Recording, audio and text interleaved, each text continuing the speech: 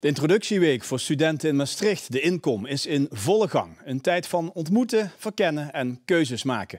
Ook de keuze kies ik voor een studentenvereniging of niet. Zometeen zijn we te gast bij een van die studentenverenigingen. Maar eerst, hoe denken de nieuwe studenten er zelf over? I'm not sure yet though, but I'm still thinking I want to see what's there and then decide. Wat zijn je redenen om bij een studentenvereniging te gaan? Ehm, nieuwe mensen leren kennen. Ik kom uit het noorden, dus dan leer ik zo mensen kennen in het zuiden.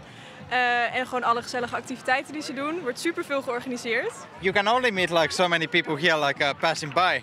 But when you are in a student association, you have like a common vision. Waar hangt er vanaf uh, of je bij een studentenvereniging wil of niet? Ja, ik denk gedeeltelijk ook de ontgroening. Nee, daar ben ik niet zo van. Ik, wil, ik wil liever een sportvereniging en dan gewoon twee keer in de week of zo trainen of zo. Maar de studentenverenigingen, dat is niet echt mijn ding. Het is niet ieders ding inderdaad, maar waar je uit zou kunnen kiezen is een van de kleinere studentenverenigingen in Maastricht, Lux Ad Mozam, een christelijke vereniging. Ze zijn hard op zoek naar nieuwe aanwas, want het ledenaantal is aan het dalen.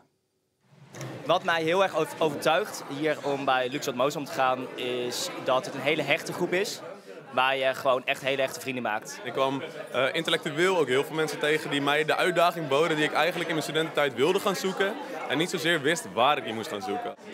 Etenstijd voor de leden van Lux Atmosam. En zoals dat hoort bij een christelijke vereniging, met gebed vooraf. We lezen uit Jeremia 29, vers 11. Mijn plan met jullie staat vast, spreekt de Heer. Ik heb jullie geluk voor ogen, niet jullie ongeluk. Ik zou je een hoopvolle toekomst geven. Merci. We hebben uh, elke dinsdagavond een activiteit. En de ene week is dat een mensa, zoals je hier ziet, dat we samen eten. En dan hebben we een academische avond, wat meer maatschappelijk gericht is. Of meer een christelijke avond. Of helemaal ontspannen. En dan gaan we Bob Ross schilderen of zo. Uh, en de andere week hebben we kringen. En dan ga je echt een onderwerp dat echt geloofsgerelateerd is behandelen in kleine groepjes. Um, en dat kan echt een bijbelstudie zijn, maar ook meer filosofisch gericht over paradoxen of de grote vragen.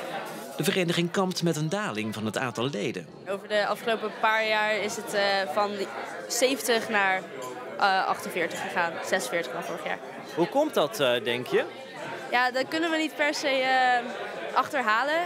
De mensen die binnenkomen zijn enthousiast. De mensen die weggaan willen eigenlijk niet weg. Dus het is niet het enthousiasme of de vereniging. Om het tijd te keren gaat deze studentenvereniging vanaf dit jaar actief op zoek naar de internationale student.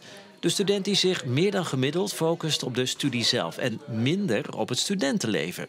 Er was minder mogelijkheid tot Engelse activiteiten. En vanaf komend jaar hebben we daar meer aandacht voor. En steken we ook meer tijd in om ook Engelse kringen te hebben, Engelse activiteiten. Um, en wat meer ondersteuning te bieden voor internationale studenten.